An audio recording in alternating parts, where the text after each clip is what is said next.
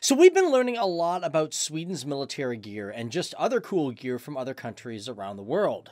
From fighters to tanks. Today, however, I want to look at a vehicle specific to Sweden known as the Combat Vehicle 90 or the Stridsfordon 90, which is probably one of the greatest infantry fighting vehicles on the planet.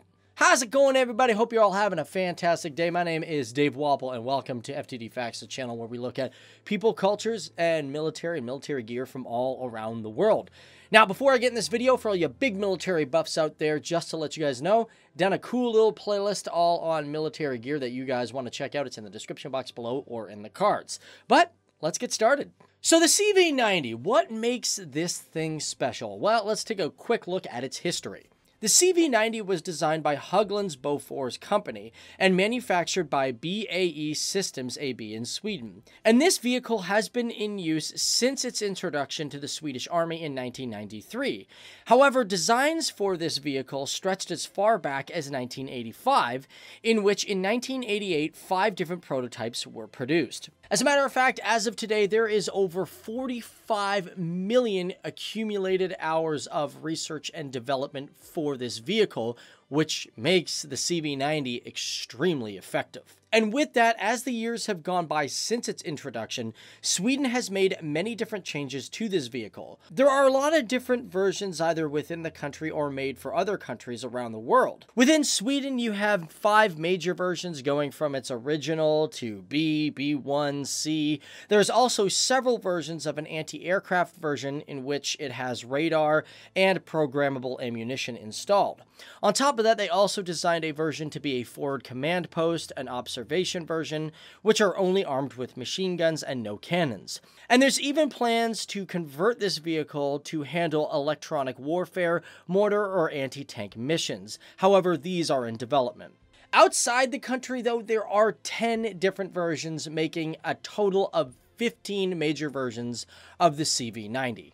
One of the coolest names that I actually found was called the Armadillo, which is a troop transport version that the Danish use. With that, let's take a look at who actually owns these vehicles. Now, besides Sweden, they have been used in six different countries neighboring Sweden. These are the countries of Denmark, Norway, Finland, the Netherlands, Estonia, and Switzerland, all who love this vehicle and swear by it. There's also Australia, the Czech, who currently have orders for the CV90, along with Croatia, and even the United States is considering this vehicle to be part of its armada. The CV90 has also proven itself in combat. They have actually had over 70,000 days accumulatively in combat operations around the world. Most obviously being used in Afghanistan. However, the Swedes first used the CV90 in Liberia in 2004 during a United Nations operation.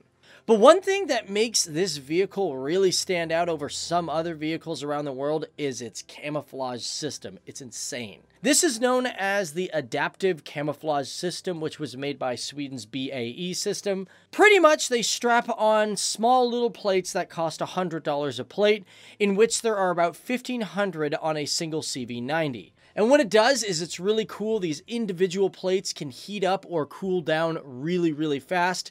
And with that, when you look through infrared, it can actually change the shape of what the tank looks like through infrared. So you could have the tank through infrared look more like a car or a bunch of trees because of its heat signature. I think it's really amazing technology. I didn't know technology like this existed. That's nuts. As for the major specifications of the CV90, it weighs anywhere between 23 to 25 tons.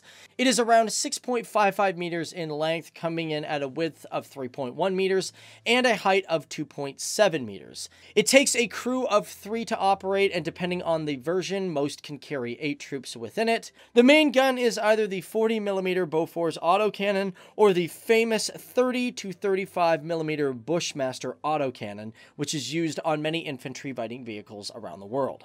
Its secondary armament is a 7.62 machine gun. Most of them use the KSB. There is also 6 times 76 millimeter grenade launchers. And overall, the speed of this vehicle comes in at 70 kilometers, in which, if you were to combine the entire fleet of CV90s, they have accumulated a travel of 3 million miles. And the bonus part about this whole thing is it is even automatic transmission. Bonus! Anyways, guys, that is it. That is me looking at the CV90. Just a quick little video for you guys here today. My name is Dave Walpole. Thanks for tuning in. And again, if you guys like this video and you want more military content, be sure to hit that like button. And on top of that, be sure to check out our other cool playlists, especially if you like military stuff. You guys will really like that. But you guys have yourself a fantastic day. Don't forget to leave a suggestion down there or a comment down there in the, you know, comment section below because we love hearing from you. But see you guys later. Bye.